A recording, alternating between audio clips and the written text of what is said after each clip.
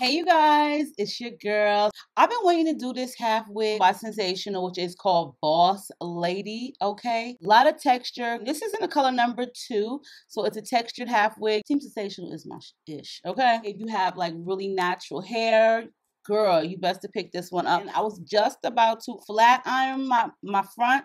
I took out the braids and it was kind of like wavy-ish, frizzy-like or whatever. So I just left it because I'm like, wait, this might help me blend the wig in.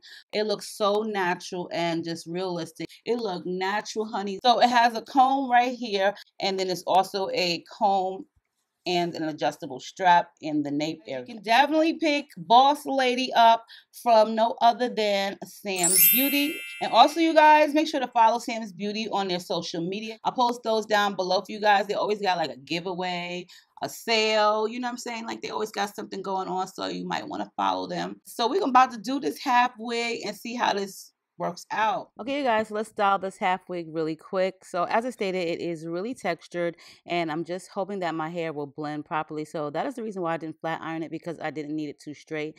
It is in the color number two and it's just slightly darker than my own hair.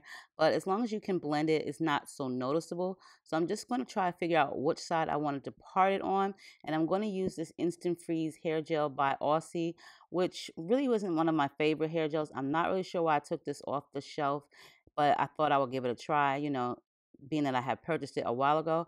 And I'm just going to brush my sides down or my edges down so that way I can try to blend it.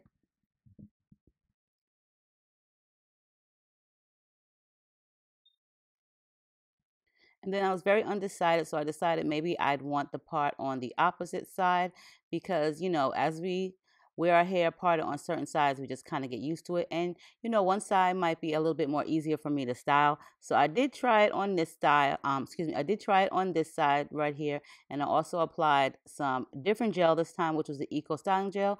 And I'm going to go ahead and use a hairpin just to keep my hair blended back and this is the look that I came out with. I'm also going to be showing you another style that I also did with Boss Lady.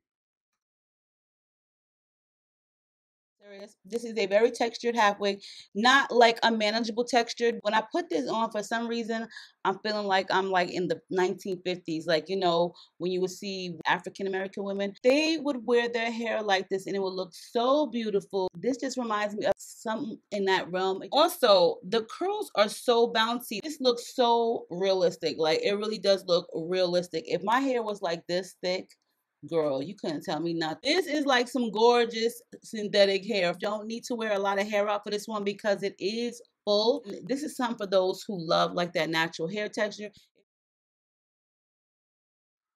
I went ahead and parted half of my hair and placed that portion in a high bun. And the other portion or the other half of my hair is already braided. And I'm just going to take the half wig and place it right directly behind my little bun, which I made out of my own hair. And I'm just going to take some of the hair from the top of the half wig and I'm going to just pull it forward and take an elastic band and just pull it around tightly, just connecting my own bun and the actual half wig.